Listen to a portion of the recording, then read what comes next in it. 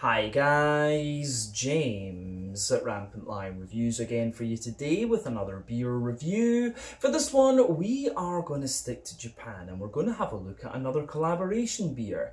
So out of the two breweries involved in this one, it's only the home brewery that's featured on the channel before. They have been on the channel many, many times. One of the first Japanese breweries I encountered, a very well respected and very well established name within the Japanese beer scene and uh, yeah, I think it's fair to describe them as being very solid all around. I've had lots of different beers from them over the years, many different styles, and they've always been very, very good actually. Potentially my favourite Japanese craft brewery, in fact. When it comes to the Away Brewery, these guys are a brewery that are completely new to me. I had never heard of them before making the brewery notes for this video. They've been around a very long time though, very well respected within the Japanese beer scene from what I gather, and they have been pretty prolific over the years. So yeah, I'm glad I'm able to introduce them to you now. Better late than never, but I do hope I can get some of their own beers to review on the channel at some point in the, the near future because a lot of people, um, since I told them I had one of these beers, have told me, yeah, that's a brewery that I really need to check out. Now, when it comes to the beer itself, this is one of the home brewery's latest releases. It's a style that I very much enjoy one that I don't think you see enough of these days. I wish more breweries would have a go at this. I haven't had too many Japanese brewed examples of this one either, actually, but uh, yeah, it is supposed to be a very good beer. So, needless to say, I'm very, very curious to see what this beer is going to have in store for us. Hopefully, it's another good beer. Hopefully it makes for an interesting review, and as always, I hope that you guys watching enjoy my take on this one as well. So yeah, for this review then, for the home side of things, we are going to head up toward the Tohoku region of Japan on the northern part of Honshu. To be specific, we are going to go to the prefecture Nagano, and we are going to the city of Yamanouchi, and that means that we're going to have a look another beer from the wonderful Tamamura Honten, who sell their beers under the name Shiga Kogen. So this beer is simply called Quadruple. It comes in at 13% ABV. I think you know what style it is from the name, but this one is brewed in collaboration with Zakkoku Koubou, uh, who are from Ogawa in Saitama Prefecture, just a little bit to the northwest of Tokyo. So um, yeah, this is yet another beer that I got from the wonderful liquor shop Asahiya in Taishibashi-Imaichi here in Osaka. My kind of go-to, or one of my go-tos, when I come to Osaka. A little beer shop run by Koji and mainly his daughter Rika these days. They've always got a great selection of Japanese stuff and I would highly recommend that you check them out. I'll put the link to their Facebook page in the video description below. But um, yeah, definitely cool to review another Japanese quadruple. It's been a long time, I think, since I've had one of these but uh, a style that I very much enjoy, and two breweries that have very, very good reputations in the Japanese beer scene. So I have high hopes for this one, needless to say. But let's crack on with it and see what this beer is going to have in store for us. So as always with my reviews, I'll tell you a little bit about the breweries before we taste the beer. If you want to get straight to the tasting though, just fast forward. All the usual links can be found in the video description below. That's the brewery websites, the link to my other reviews that I've done from Tamamura Honten Shiga Kogen beer and my future reviews that hopefully I can do from, uh, I need to get the pronunciation of this right, Zakkoku Koubou uh, very first time I'm trying a beer involving them, as I've mentioned, but hopefully we can review some of their own beers going forward. We'll add those to that list, like I said. But there's all the usual social media down there. If you want to see more reviews, do please consider subscribing to the channel. The support that you give is massively appreciated. And remember, you can go into the channel homepage and search for beer using the geography tagging system. So just go in there, use the little search bar, put in your hometown, state, county, province, whatever you like. If I've reviewed beers from the area that you search for, they will pop up. Failing that though, you can check out the playlist of beers from different countries. You'll find this beer in the Japanese playlist along with a number of other things. That's being added to very regularly, of course, because we do get quite a bit of Japanese beer in Hong Kong and I'm over here visiting my son very regularly. But yeah, uh, do check out the playlist of beers from other countries as well because there are some very interesting things on the channel these days. But yeah, let's go on to my brewery notes then and I'll tell you a wee bit about the breweries. We'll start off with Tamamura Honten since they are the home brewery in this case. So as I mentioned to you earlier, Tamamura Honten are based in Yamanouchi in Nagano Prefecture in Japan, which you'll find a couple of hundred kilometers to the northwest of Tokyo. Very famous for its natural beauty and its ski slopes, of course. But uh, the Tamamura Honten Company began brewing sake back in 1805, and they recently began brewing beer under the name Shiga Kogen, which translates into English as like Shiga Heights or Shiga Mountain. So Shiga Heights beer, Shiga Mountain beer, whatever you want to say. But they also produce wine as well. But the head brewer is uh, Sato Eigo, and he joined the company in 2003. But the idea to brew beer apparently came as the numbers of skiers visiting the resort began to dwindle. And so in May of 2004, they applied for their brewing license and they received it a couple of months later. They bought their brewing equipment and they trained for a week at a brewery down in Kyushu before beginning their own commercial beer activities with only a consultant for help. Needless to say, it went very well for them though. But Tamamura Honten as a company produced their own hops, their own sake rice, buckwheat, blueberries, uh, they've got their own variety of hop that they use in a number, number of their beers called Shinshu Wase. This is a hybrid between Czech Saaz and a local variety. And they've also used it as a bittering hop as well. But in some of the IPAs, they've been using as an aroma hop as well. So the um, Tamamura Shiga Kogen IPAs are a little bit unique and that's probably why. But they also have uh, two tasting rooms which they call Tepper rooms. There's one at the brewery and also one at uh, in Ichinose at the Hotel Chalet Shiga and the bottle art is designed by Tanaka Noriyuki um, who has been with them for many years from what I understand. But as of October 2024, when I'm filming this review for you, these guys have produced 130 different kinds of beer according to Untappd. and like I said, they are a very, very well respected name when it comes to uh, Japanese craft beer. Uh, yeah, these guys are one of the classic stories. You know, started off as a sake brewery, expanded into beer. There are quite a few uh, sake breweries that have done that, but there are some others, of course, that have come into it very in uh, very very different ways. Japan is um, is very interesting when it comes to the craft beer brewery stories. But yeah, Shiga Kogen beer are one of the ones that I would highly highly recommend that you check out. But yeah, that is everything I can really tell you about uh, Shiga Kogen beer and the Tamamura Honten company for the moment. If you want to learn more about these guys, you can check out the brewery website. You can follow them on Facebook and Instagram to keep up to date with all the latest goings on, and you can check out the Rate Beer Untappd and Beer Advocate pages to learn a little bit more about all the different beers that these guys have done. So yeah, let's go on to the other brewery then, and I'm going to try and make sure I pronounce this right. So yes, uh, Zakkoku Kobu or Koubou, I think is the correct pronunciation. Zakkoku Koubou microbrewery is based in the small town of Ogawa in Saitama Prefecture, which you'll find just a little bit to the northwest of Tokyo, like I said. And the brewery was founded back in 2003 by Baba Isamu, and the name translates into English as Grain Workshop. So yeah, literally Grain Workshop Brewery. So Isamu Baba was born into a farming family in Fukaya in Saitama, but he went on to study electrical engineering and then actually taught at a university. But while he was at home, he'd often be working behind a computer, but in his spare time, he would take his children to a local store to buy seeds and plants and do other DIY activities with them. So he retired at 58 and then moved to Ogawa and it was then that he started growing vegetables and returned to his family roots of uh, growing wheat. But one day at the local store that he visited often, he came across a beer making kit, and this gave him the idea of using his own wheat uh, to brew the beer. But as it turns out, he was also very lucky because he had moved to Ogawa, which is very famous for its water. But after he retired, he obtained a brewing license and established the brewery, including a small pub just underneath, and he apparently underestimated the level of work that was needed for the brewery, and so his daughter Yumiko and her husband Hitoshi Suzuki joined the company in about 2008. But they had good jobs in Tokyo, but they felt they were just at a stage in life where they were too busy with work, so they wanted to change things up and uh, have a slower life. But after agreeing to help out Baba a little, Hitoshi soon found that he was hooked on the idea of making beer. So that was um, his new profession, basically. That's how it turned out.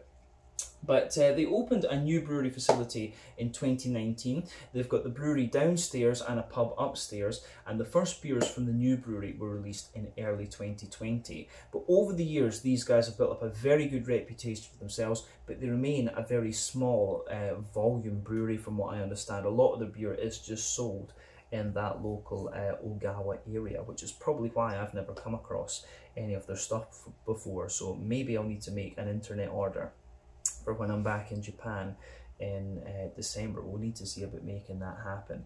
But yeah, um, as of October 2024, when I'm filming this review for you, these guys have produced around 250 different kinds of beer according to Untappd, and uh, they've done a whole variety of uh, different styles. But like I say, uh, this is a brew that I had never come across before, but they seem to be very, very well respected by their peers in Japan, which is um, always a good thing. It's the way the culture kind of works here. If you have the respect of your peers, that is uh, very meaningful, of course. But um, yeah, um, that's everything I can really tell you about. Um, it's not this one. This one is difficult to pronounce. Zakkoku Bob, uh, Zakkoku Koubou uh, microbrewery, the Green Workshop Brewery from Ogawa and Saitama. If you want to learn more, check out the brewery website, follow them on Facebook and Instagram to keep up to date with all the latest goings on, and you can check out the Rate Beer Untappd and Beer Advocate pages to learn a little bit more about all the different beers that these guys have done. So um, yeah, to tell you a little bit about this beer itself, so as I mentioned to you at the start of the video, this one comes in at 13% ABV, as the name tells you, it's a Belgian style quadruple. This one apparently is brewed as a sort of joint celebration of Shiga Kogen and Zakkoku Koubou's uh, 20th anniversaries. It uses uh, spelt, which obviously is a very old type of wheat, grown by Shiga Kogen, and it uses rye, uh, grown by the guys at Zakkoku. And apparently, this is the highest ABV beer that Shiga Kogen have ever produced, and it was allowed to rest for six months uh, before it was released. I'm not sure if that was in the fermentation vessel or if they've kept the bottles for six months before um, they released it. The Japanese translation that I had wasn't um, overly clear, in all honesty. But um, yeah, um, that's all you need to know about the beer. I'll just let you have a little quick look at the artwork on this one before we open it up. But there you can see the Tamamura Honten dragon there. And here you can see the Zakkoku Koubou uh, symbol as well there, which is, um, yeah, it's a cat kind of just chilling and enjoying. Um, looks like he's chilling and enjoying the hot flowers, and uh, he has wheat for a tail, which is quite interesting. And that's obviously um, uh, an ode to uh, Baba's family um, and their history of, uh, of farming. But yeah, you can see this one, the label on this is actually like a lot of the, the kind of more old school Shiga Kogen beers, like the House IPA, for example, which is quite cool. But yeah, you can see it's got that classic Tamamura Honten Shiga Kogen beer cap on it. Um, like I said, 30% quadruple this one. Um, this should be very, very nice when we know, well, knowing Shiga Kogen beer. So let's get this guy out into the glass then and see how we go. I'm very curious to try this one. So, nice little bit of smoke on the opening there. And we'll get it out and into the glass. So there we go. I have to say this one's actually behaved itself quite well. I'm always a bit wary of Belgian style beers because they can get a little bit excited and sometimes explode on you. But yeah, um, you know, the guys at uh, Shiga Kogen, uh, they, they know the stuff. They know what they're doing. So yeah, they'll condition the beer properly. So yeah, um, anyway, before the head disappears on this one, we can safely say that it's poured. It poured with maybe about a two-third finger of a frothy, I would say kind of fawn coloured head. I'll just bring that up and let you guys have a little look at this. Before that disappears, you can see some medium-sized bubbles on the surface of the liquid there, a few foamier ones the further up that you go. But um, yeah, it looks very nice, this one. If we shine the light through the beer, it's actually one of the more kind of ruby um, leaning quadruples that I've seen over the last little while. I think I've had um, two, maybe two quadruples quite recently, if I'm not mistaken. Uh, one from England and uh, there was another one, if I forget where that was from.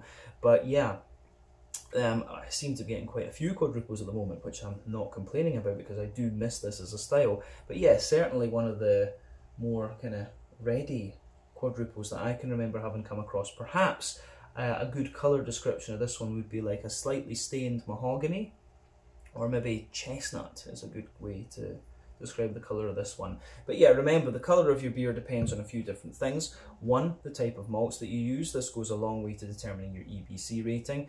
Two, length of your wort boil is going to play a role because the longer you boil the wort, the more the sugars caramelise and thus you get a darker colour of beer. But any barrel aging that you do or adjuncts you put into the beer will affect its colour as well. And when it comes to brown beers like this, the barrel aging and the adjuncts can play a role. And when it comes to the quadruple specifically, and yeah, I guess Belgian Abbey beers, would be the correct term. What they tend to do with these is they put a little bit of uh, sugar in them, usually candi sugar or brewing sugar or something like this. And that's how you get the lighter mouthfeel with the Belgian style beers, but the higher ABV. And that's why you also need to pay attention for them exploding sometimes. That's how it goes. But yeah, I'm guessing the colour of this one will be mainly down to the types of grain that they've used, the uh, the spelt and the uh, the rye in this one. But yeah, maybe the sugar will have played a little role too. One or two big bubbles sticking toward the side of the glass, a few little ones going up toward the bottom of the head there. The head has incidentally just faded away to be a kind of thinner foamy layer and you've got that nice kind of big ring around the edge of the glass there. A um, little bit of natural haze to it as well, which is to be expected, but all in all, nothing too surprising about this uh, the appearance of this beer when you consider what style it is. So um, yeah, let's go on and have a little look at the aroma of this one and see what it's all about. I'm very, very curious about this. Oh, that smells good. And it smells pretty damn authentic as well. Because most of the time when you try a, um, a quadruple and yeah, triples as well. In fairness, a lot of the time. But when you try some of these Abbey brewed beer, Abbey style beers brewed abroad, they just they have the same flavor profiles. They have the right flavor profile, but it just it's just never the same.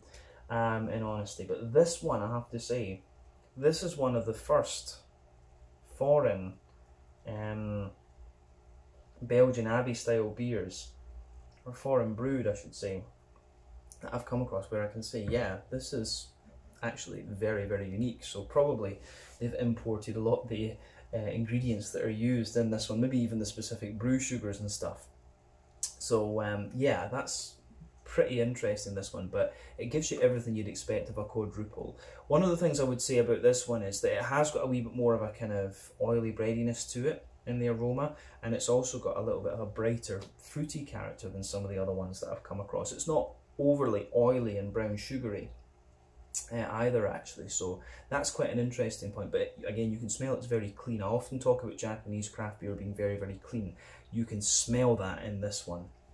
Uh, Japanese craft beer obviously has to have that element of drinkability because that's how wider Japanese society views beer. It's something to uh, be light and drinkable almost.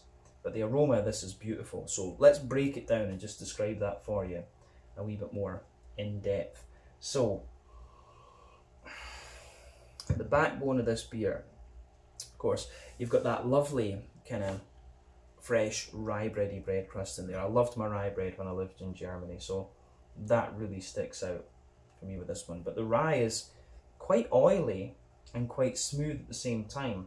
There's little elements of woodiness to the beer. Um, there's a little bit of cracker, of course. Nice big oily rye bread it's almost got a little bit of like a kind of brandy or um, sherry soaked, like fruity brown bread uh, sort of note to it. Fruit loaf type thing is maybe a good way to say that. So there's a little bit of that kind of vibe coming out of this beer, in my opinion. But um, yeah, on top of that, you do get a little bit of an almost slightly fruit cakey type note. But yeah, wholemeal brown bread for sure little elements of um, nuttiness in the beer. And then, yeah, it's all about the brown sugars above that. So you can smell a little bit of a toasty brown sugar in there. There's some lovely sort of oily um, sweet caramel, McVitie's digestive biscuit. Um, yeah, it doesn't have any real kind of leathery brown sugary characters to it. And usually when you get leathery brown sugars, that's a sign that the beer has undergone a longer wort boil. But that doesn't, yeah, that doesn't really seem to be the case with this one, just based on the aroma. But um, yeah, um, I don't know if there's much else we can say about the malty side of things. So let's have a little look at the um, the yeasty partly and the yeasty character in the beer will come out on the back of your nose. So yeah, it's actually got a lovely kind of smooth and slightly sweet brown bready yeasty character to it. There is a wee bit of cracker and stuff within that yeasty part too, but yeah, mostly a sweet kind of brown bread. On the hoppy side of things, and remember the quadruple is not the most hop forward style of beer, but you are still getting a good little bit of green component out of this one. Um, it's got a little bit of, I think it's probably English hops in this one, maybe a bit of Bramling's Cross, um, just from the aroma. But yeah, you've got that little bit of earthiness in there. You've got that bit of distinct kind of herbal and woody kind of character. And yeah, there's little bits of floral aromaticity, some wet sort of freshly cut leafy grass. There's a good little bit of that uh, coming out in this one too. So um, yeah, the way that that goes together, I think, is uh, it's really really nice.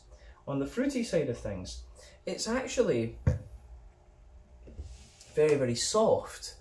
Um, it's kind of strawberry and grapeish. And normally with these beers, of course, you'd want like, or you would get like plums and raisins and uh, figs and stuff like that. Maybe there's a little bit of fig in this one, in fairness. So yeah, I, I would say figs, but there's a lot of like, um, yeah, there's a lot of sort of grapey and um, sort of candied strawberry type notes to the fruity side of the beer. Um, maybe little touches of like sultana and stuff, maybe a little touch of date. Um, but yeah, it's really interesting this one. Yeah, when you sugar it up a little bit more, you start to get lovely, kind of softer, red fruity characters coming out of the beer.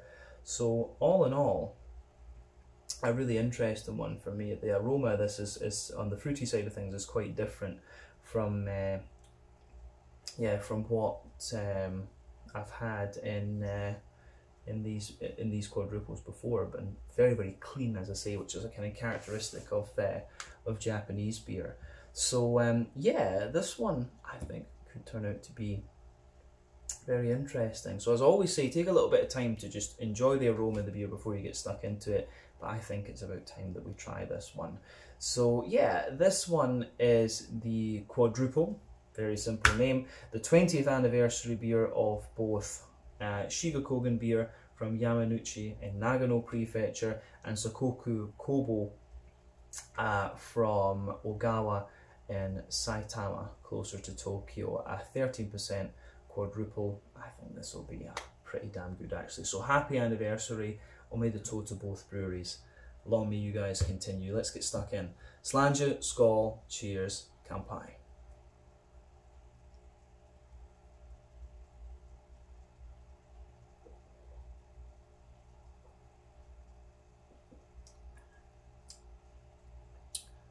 Oh, yeah. That's nice.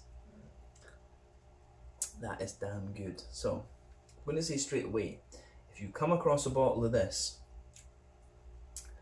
yeah, um, have a go at it. This is good. Um, it did say, um, there was quite a big description of this one on Untappd, which I went through the Japanese and translated. That's where I got the bit about the spelt and the um, the rye and stuff like this. They did recommend actually in that that you get two bottles and you age it. Um, and I can see that that would work with this one. This beer, at this point, and I'm, I'm drinking it, I think just not long after it's been released to the bottle shops and things, you can feel it feels just that little bit boozy. Maybe letting this one mellow out would give you even more uh, out of it, but I think it's it's really good as it is. And I would go as far as saying that this is potentially one of the most authentic non-Belgian, or yeah, maybe non-Belgian, non-Dutch, whatever, non-low country um, quadruples that I've had. But you know, this is Japan, Itokodori, take something in, play with it, learn how it works, and then you know, make it even better. That's how it goes. But yeah, that's a great quadruple. That is very, very good. So thumbs up to both uh, Zakkoku Koubou and uh, Shiga Kogen uh, Tamamura Honten for this one. This is great. Um, but it gives you everything you'd want. You've got the lovely fruity character, you've got the big brown sugars, you've got the little touch of hoppy character, and you do have that little bit of alcohol warmth, which you would expect at 13% ABV. So yeah, let's do as we always do. We'll break the flavour of this beer down then and just describe what's going on.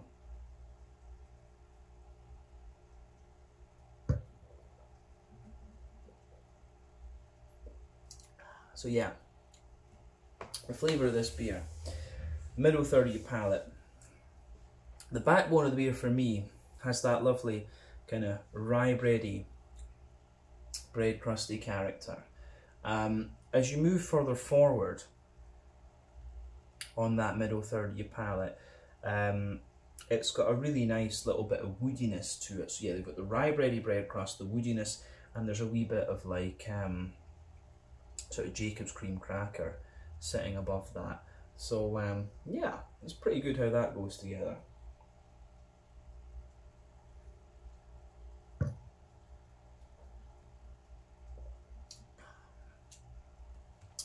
Above that though, you do start to get a kind of sweeter little bit of rye bread there. So you can feel that rye bready layer just on top of the kind of crackery note that I was talking about. It's quite an oily rye bread as well, I would say.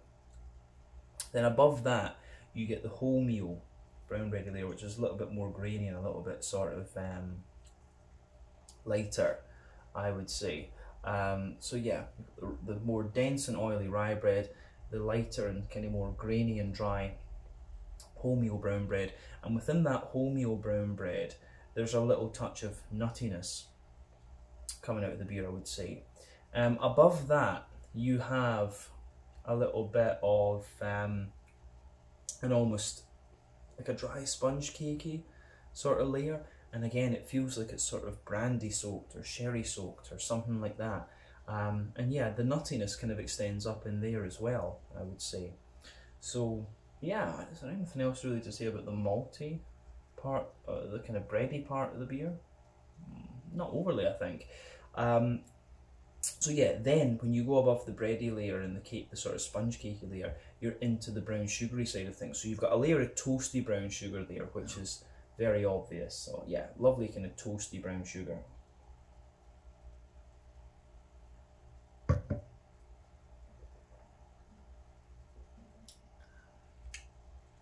So yeah, lovely kind of toasty brown sugar in there. Um, in the middle of your palate, that you'll feel there's this kind of oily circle there. And it's interesting because there's not overly much brown sugar there. There's a, it comes out in the beginning at least. It comes out more into the aftertaste. So you've got the toasty brown sugary character there. Then within the circle, it's quite wet underneath but you do feel there's a little, a very slight leathery brown sugar. Then above that, in the dead century palate, you've got that more treacle molasses um, sort of thing. Um, and yeah, that is obviously the boozy side of the beer, but you can feel this one, like I say, this maybe letting this mellow out for a wee bit longer in the bottle um, might give you more and more of the brown sugary um, things. Because I have tried some homebrewed barley wines and stuff like this where yeah you have this booziness and it takes the beer just that little bit more time to kind of mellow out. But I think it is still really nice in the form that it's in. So yeah you get that little bit of treacle molasses in the dead centre of your palate. There is a wee bit of a sweeter caramel there maybe a little elements of kind of fudgy notes. So yeah that big brown sugary circle in the middle of your palate is most most definitely there. Yeah mm.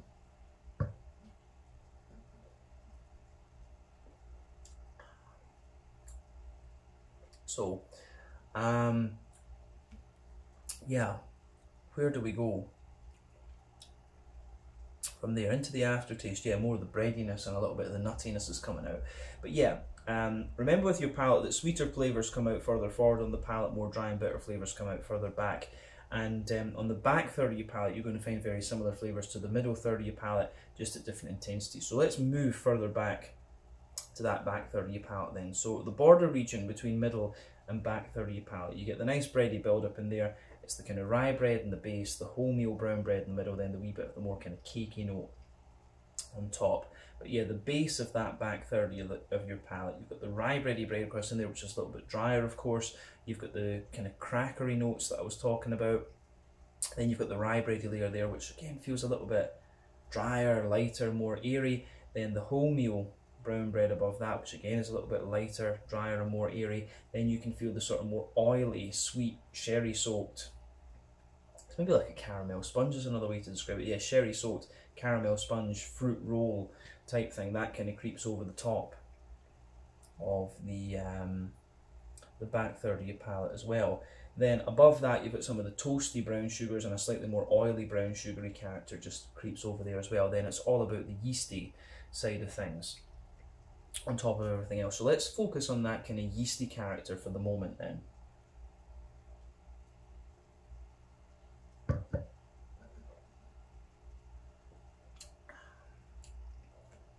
Yeah, that's really good. Um, the yeasty side of things for me, at its core, like it's a really sweet, oily, oily rye bread. And as you go further out from that, it's more like a kind of caramel soaked rye bread. And then, yeah, you've got the bread crusty character on the very edge of that. So, yeah, all that yeasty character just sits on top of the back third of your palate. And it's, um, it's really nice how all that goes together. Um, yeah, definitely back third of your palate, you can feel the flavour is taller. Then as you move further forward into the middle third of your tongue, it just kind of condenses down and squashes together that little bit more. So um, yeah, it's good stuff. On the hoppy side of things then, um, you do get a little touch of bitterness out of this one. And again, that's something that might disappear if you age this beer a little bit more. But yeah, um, back corners of the palate, there's a nice little touch of earthiness there. As you move further forward, it's maybe very slightly kind of woody. Uh, and then, yeah, as you push further and further forward from that, it's got some nice floral aromaticity to it. And round the front curve of the tongue, it's definitely that wee bit lighter and more um, kind of grassy, I would say. A little zesty too, but yeah, you can feel the hoppy character in this beer is just that little bit more oily rather than anything else. But yeah, let's focus on the fruity side of things then and the, uh, the front third of your palate. So yeah, front third of your palate, uh, the border region between front third and middle third of your palate, you get that nice little bit of bready build up in there. You can feel the rye bread in the base, the wholemeal brown bread in the middle, and a wee touch of the kind of more sponge cakey thing on top. The base of that front third of your palate is a little bit more of, um, yeah, I'd say it's a little bit more kind of wholemeal. Uh, yeah, the bread crust is a little bit more rye bready, as we say. Then you've got the the um, the the cracker, the rye bread, the wholemeal brown bread, and the sort of sponge cake, you know, above that. Then you get that nice oily bubble where the juicy fruity esters roll their way out of the beer. So let's have a little look at the fruity side of things in this one.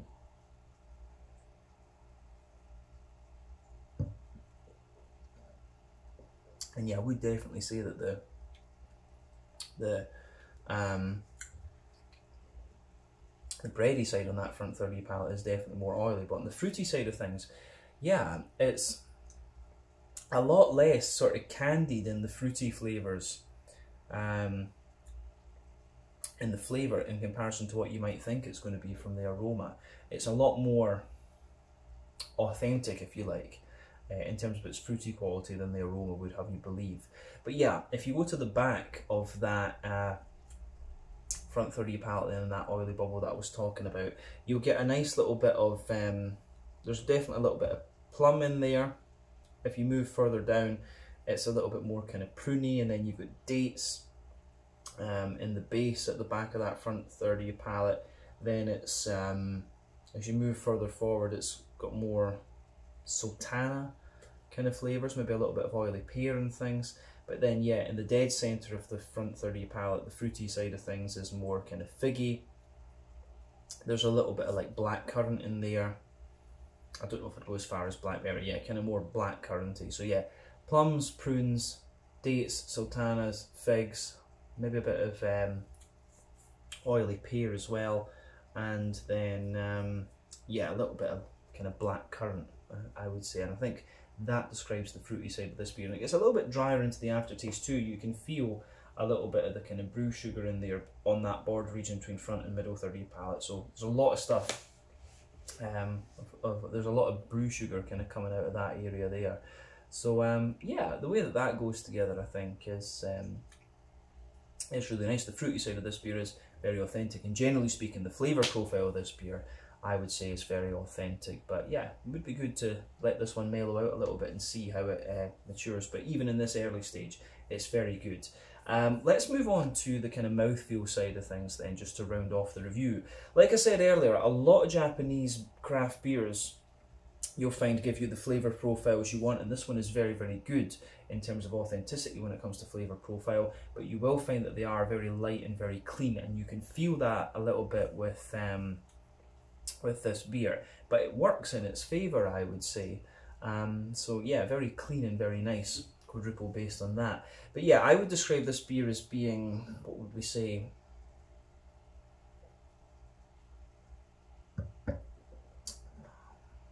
yeah, kind of bottom end of full bodied for me. Carbonation does have that degree of crispness. As I say, this is because they add the brew sugar into the beer and let it um, settle within the bottle.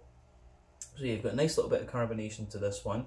Uh, the IBU count of this is probably about 15 or 20 at the absolute most. You do get a little bit of bitterness and dryness into the aftertaste, the earthy side of things, on the floral side of it.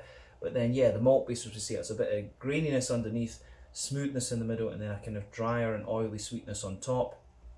And then, yeah, you've got a lovely sort of um, oily, fruity character coming out of this one as well. Mainly soft and kind of red fruity, actually.